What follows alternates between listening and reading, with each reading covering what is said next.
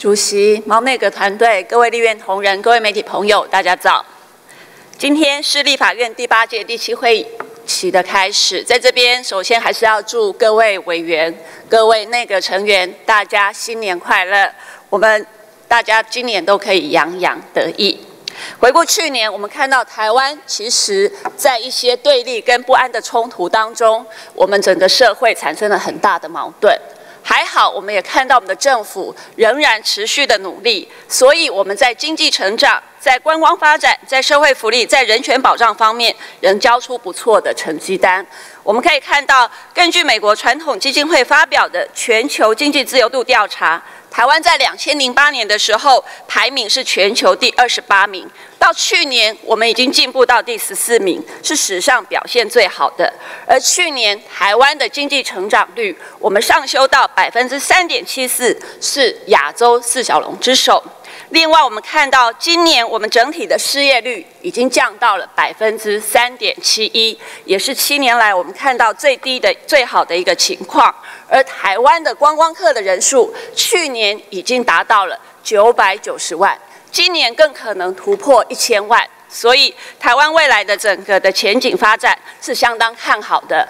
另外，像本席在去年所提出来的《儿童权利公约施行法》。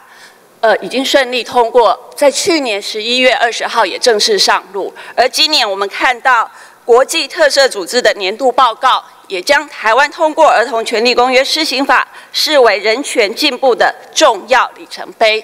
而未来本席将会持续结合民间团体，监督公约逐步落实，来保障台湾儿少的权益。展望羊年，我们可以看到台湾的经济已经逐步的好转。本席主张经济发展的好处，我们应该要全民共享，所以帮全民实职加薪，应该是企业跟政府责无旁贷的责任。而我们朝野应该要摒除成见，合作推动让民众有感的加薪四法，在本会期可以顺利通过。而去年我们看到台湾整体的失能的人口已经达到七十四万。预计一百二十年要增加到一百二十万，所以长照服务的需求非常的迫切。本席在这边也是要诚恳的呼吁，有关于照顾我们这一些全国失能者跟老人的长照服务法，应该要在本会期顺利的通过。本席也要呼吁在野党不要再阻挡。展望新会期，本席期许我们朝野可以共同合作，在本会期，我们应该要通过更多福国利民的法案，让台湾的未来更光明远大。以上，谢谢。